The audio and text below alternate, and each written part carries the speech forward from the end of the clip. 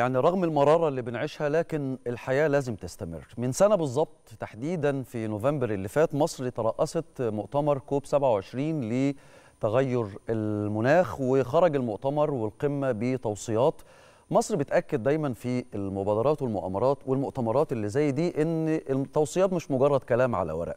مصر بدأت تنفذ بالفعل ما تم من توصيات خرجت عن قمة كوب 27 وإحنا بعد سنة منها دلوقتي عندنا حاجة اسمها المبادرة الوطنية للمشروعات الخضراء الذكية واللي بتعتبر نموذج ملهم لتجارب مصر للعالم.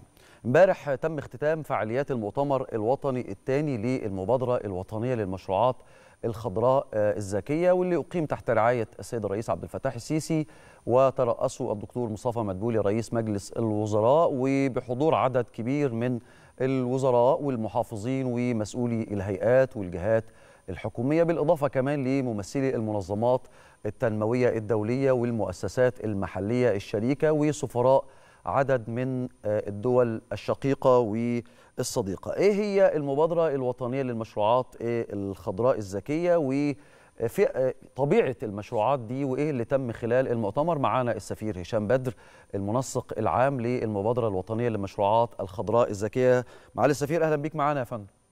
أهلا وسهلا أهلا وسهلا. أهلا بحضرتك. آه كنت بقول إن مصر بتترجم دايما آه آه ما يخرج عن مثل هذه القمم لمشروعات على الأرض. ويعتبر المبادرة دي نموذج ملهم للعالم في طريقه للمشروعات الخضراء. عايزين نفهم إيه هي المبادرة وإيه مشروعاتها وإيه اللي تم في المؤتمر. اولا دي النسخة الثانية من المبادرة. المبادرة. بدأت في العام الماضي وفتح وهي بتفتح الباب لجميع المصريين وهي مبادرة غير مسبوقة على المستوى العالمي أن يتم فتح الباب لجميع الساكنين في مصر ال 100 مليون أن يقدموا مشروعات بتمثل حلول لتحديات مناخية وبيئية. وبالتالي في العام الأول تقدم 6300 مشروع وإحنا الآن في العام الثاني تلقينا 5600 مشروع. امبارح كان المؤتمر بيتوج الجهد الكبير اللي تم في السنة دي. م. والدكتور مصطفى مدبولي دولة رئيس الوزراء تفقد المشروعات المؤهلة في الفترة في المرحلة النهائية وهو 162 مشروع في جميع محافظات مصر. وطبعا الوقت ده كان استغرق وقت كتير لأن كان في مشروعات هائلة ورائعة من كل المحافظات. 162 مشروع ويعني الوزيرة الدكتور هالة السعيد والدكتور طبعا مصطفى مدبولي والوزراء راحوا على كل محافظة كل محافظة قدمت ست مشروعات أحسن ست مشروعات اللي هي فازت عندها. م. ومشروعات كلها بتدل على قد إيه إن الشعب المصري عنده أفكار خارج الصندوق وفي ابتكارات وفيها حلول. فهي الكلمة السحرية برضو هي حلول مصرية لتحديات إقليمية تحديات بيئية. والفكرة هي إن إزاي بتحول تحدي مناخي إلى فرصة استثمارية. يعني ده جوهر المبادرة. عندنا تحدي مناخي آه. في تحديات بيئية في انبعاثات وهكذا إزاي تحولها. وكانت ربما الرسائل الرئيسية اللي بعثها المؤتمر من خلال كلمة الدكتور مصطفى مدبولي من خلال كلمة الدكتور هالة السعيد هي يعني أوجزها في الرسائل الآتية. واحد إن هو طبعا إشراك جميع فئات المجتمع المبادرة زي ما حضرتك تفضلت في كلمتك إن كل الجامعات موجودين والوزارات موجودة والمجتمع المدني والمنظمات الدولية والمنظمات التمويلية. تشبيك الفائزين بالجهات الاستثمارية والتمويلية. يعني النهارده امبارح كان في 162 مشروع مؤهل تم اختيار 18 مشروع فائز منهم اللي إحنا شايفينهم قدام حضرتك في الشاشة دول. إحنا دورنا كمبادرة إن إحنا نشبك هذه المشروعات والمشروعات أكتر بالجهات التمويلية والاستثمارية لكي يتم تمويلهم. يعني العام الماضي فاز 18 م. النهارده ال 18 اللي فازوا في العام الماضي في شركات منها أخذت جوائز دولية. خمس أو ست شركات أو مشروعات من اللي تقدمت السنة اللي فاتت وكانت صغيرة كبرت وأخذت جوائز دولية. وقدرت إن هي بعض المشروعات طلعت من 7 مليون دولار إلى 300 مليون دولار. وبعض المشروعات طلعت مثلا من من 10 مليون جنيه إلى هكذا. م. فإحنا الرسالة الثالثة ربما هي الشراكات الاستراتيجية اللي بتجمع كل المشاركين في المبادرة دي الجامعات والمدارس والمحافظات. ثم التدريب. يعني حضرتك عشان نقدر إن إحنا نقدر ننتقل إلى مرحلة والقرن الواحد وعشرين لازم في تدريب وتأهيل وتدريب المواطنين تدريب الشباب على إزاي يقدم مشروع فكان في حوالي 60 جلسة تدريبية في الجامعات والمحافظات على هذه المشروعات غير التدريبات ال 17 اللي اتعملت أونلاين. شيء آخر هو رفع الوعي بالتغيرات المناخية، ده برضو كان رسالة. ثم ربما من أهم الرسائل إن أصبحت المبادرة منصة للعمل المناخي على المستوى الوطني. يعني النهارده أي حد في مصر يعني مهتم انه عنده مشروع وعايز يكسب منه فلوس وعايز يوفر في في داخل المشروع ويستخدم حاجة مناخية يستخدم عن طريق تقليل الانبعاثات سواء إن هو إعادة استخدام كله ممكن يتقدم إلى المبادرة وبالتالي أصبحت منصة للعمل المناخي في مصر. حاجة ثانية طبعا إن هي ادماج كل طلبة الجامعات والمدارس وذوي القدر يعني كان امبارح الدكتور مصطفى البوري أول مشروع شافه كان مقدم من ذوي الهمم. مشروع مدينة متكاملة مقدمينها ذو الاحتياجات الخاصة قدموها في المبادرة وبالتالي الفكر بدأ يتغير. إن حكاية إن إحنا التحدي المناخي ده ممكن اننا نعمله فرصة. م. ثم عرض التجربة في الجامعة العربية اختارت هذا هذه المبادرة كنموذج يحتذى به وكرمتها.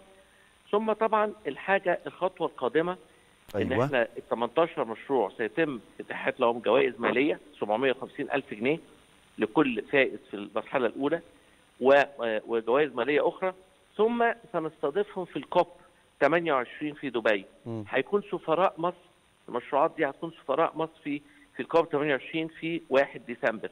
ويعرضوا تجاربهم أمام العالم وبالتالي يحصل التشبيك الحقيقي. أنا عندي مشروع بعمل مصنع أكبر مصنع سكر في العالم بيستخدم تكنولوجيا حديثة فيقدر يوفر 35 أو 40% من الطاقة ويوفر آه كمان من ال 40% من المية. أنا عندي مشروع بيحول المياه الصرف الصحي إلى يعالجها ثم يزرع بيها غابات يطلع بيها شجر يعمل بيها أبواب. كل دي مشروعات فائده حقيقية. أنا عندي مشروع اسوان بيدرب آه بمسرعات ل 35 ألف امرأة بتقدم مشروعاتها بيقدر يدربهم ويقدر يعمل المسرعات دي يجهز المشروعات دي ويجيب لها تمويل. كل دي مشروعات فائزة مش كلام نظري. يعني بالظبط ما هو ده اللي إحنا بنتكلم فيه. الموضوع بقى أصبح ترجمة على الأرض. يعني إحنا امبارح وده كلام مهم جدا اللي حضرتك بتقوله معالي السفير يعني كان في فئات المشروعات الكبيرة كبيرة الحجم والمشروعات المتوسطة والمحلية الصغيرة. يعني كل المشروعات كل الفئات تقريبا كانت مشاركة في المبادرة دي. بالظبط. هي الفكرة إنك ما تحرمش حد إنه يفكر في المشروعات دي. م. اللي عنده مشروع صغير يقدر في مشروعات صغيره مشروعات المرأة. المرأة طبعا القيادة السياسية بتدي أولوية وبالتالي مشروعات المرأة كانت برضو متصدرة ثلاث مشروعات. إيه اللي هيحصل دلوقتي؟ إن المشروعات اللي فازت دي وأخرى يعني أنا بكل صراحة وأحب إن أنا أستفيد من البرنامج بتاعك إن أنا أهني كل اللي تقدم مشروعات مش بس ال 18 اللي فازوا. ال 162 مؤهلين وال 5600 اللي قدموا وال 6300 اللي قدموا السنة اللي فاتت. كل دول فائزين لأن كلهم فكروا خارج الصندوق. أيوة. وكلهم بقوا في أول مرة في مصر عندنا قاعدة بيانات للمشروعات دي. بيجي لنا مستثمرين بالفعل. أنا مش بقول لك كلام نظري. بنوك فعلية بتقول لي طيب وريني قائمة المشروعات الخضراء الذكية اللي عندك اللي بتستخدم التكنولوجيا وبتعالج الحاجات المناخية. أقول له والله الحكومة عندها مشروعات. يقول لي والله أنا عايز مشروعات مش طالعة من الحكومة. أنا عايز. مشروعات طالعة من المجتمع المصري من كل حتة. أقول له اتفضل يا سيدي. عندي دلوقتي 11000 مشروع السنة اللي فاتت والسنة دي. وزي ما بنقول في مصر كل فولة ولها كيان. في واحد بيبقى مهتم بمشروعات في صعيد مصر في شمال سيناء مهتم بمشروعات في اسكندرية مهتم بمشروعات في المحافظات. كل دي بتدي فرصة للمستثمر إن هو يقدر يشوف المشروع اللي يحقق ربح وكلها في حاجات فيها كتير منها ملكية فكرية. وبالتالي بتطلع عصارة أفكار الأكاديميين وأصحاب المشروعات اللي في مصر. ودورنا حاليا إن إحنا تو ما خدنا هذه المشروعات نبدأ مرحلة تأهيل أخرى لها. نبدأ نكبرها مع المؤسسات والأمم المتحدة. شركائنا في العملية دي من كل منظمات الأمم المتحدة والمؤسسات التمويلية الدولية اللي آخر ما نوصلهم الكوب ونشبكهم ثم نتابعهم على مدار السنة زي ما تابعنا المشروعات السنة اللي فاتت ونشجع وهكذا والم- والمبادره مستمرة لكي تتيح لكل المصريين أن يفكروا بطريقة مختلفة تجاه المشروعات اللي تنجح بالاستدامة وتنجح في إدخال لهم يعني دخل مستمر بقائم على التكنولوجيا وعلى معالجة التحديات المناخيه. جميل. حضرتك بتقول إن المبادرة أصبحت منصة. خلينا نستغل وجود حضرتك معانا والمشاهد اللي بيتابعنا دلوقتي يعرف اللي عنده فكرة مشروع وحضرتك قلت يمكن الأفكار والمشروعات بتختلف من منطقة على حسب طبيعة المنطقة وطبيعة المشروعات الناجحة فيها. اللي عنده فكرة دلوقتي لمشروع يعمل إيه؟ الشاب الأكاديمي أو الباحث اللي عنده فكرة لمشروع أخضر ذكي يقدم للمبادرة إزاي وإيه الشروط وإيه كمان المعايير اللي أنتوا من خلالها بتحكموا إن المشروع ده ناجح أو يفوز بالجائزه ولا لأ ده سؤال ممتاز اولا المبادرة مش للأفكار النظرية م. يعني مع احترامنا للأفكار النظرية البحتة لأ المبادرة معمولة للمشروعات الفعلية يعني لا إما يكون عندك مشروع على الأرض فعلا. أو عملت له دراسة جدوى أو بدأت خطوة تنفيذية فيه أو عندك خطة مالية ليه واضحة؟ لكن مجرد فكرة نظرية إن أنا همشي عربية بالمية لا لازم يكون عندك بعض المشروع يكون أساسه حاجة عملية وبراجماتيه وبتمثل حلول دي أول حاجة. م. تاني حاجة أنت وأنت قاعد في بيتك هتخش على ال website بتاع المبادرة الوطنية للمشروعات الخضراء الذكية وتروح مسجل. اسمك إيه؟ هتقول أنا اسمي محمد إبراهيم في محافظة القاهرة م. أو محافظة الدقهليه وتروح كاتب ثلاث أسطر على المشروع بتاعك. ثم تملي الكرايتيريا إيه العناصر اللي أنت عشان تقدر تنجح المشروع ده؟ في بيسموه إيه الاخضر. بنعرف يعني إيه كلمة اخضر لأن مش كل الناس عارفين يعني. إيه مشروع اخضر المشروع الاخضر هو بيوفر في الطاقة بيبص على الطاقة البديلة الطاقة الشمسية طاقة الرياح بيقلل الانبعاثات بي... إزاي بيستخدم المخلفات يعني كتير من هو ده يعني إحنا في زمن إحنا في زمن بي بي يعني بيستلزم إن المشروعات معظم المشروعات تكون مشروعات خضراء وصديقة للبيئة. أنا بشكر حضرتك جدا معالي السفير هشام بدر المنسق العام للمبادرة الوطنية للمشروعات الخضراء الذكية وبنعتبر دي انطلاقة لتبني مثل هذه المشروعات وإحنا إيدينا في ايديكم دايما.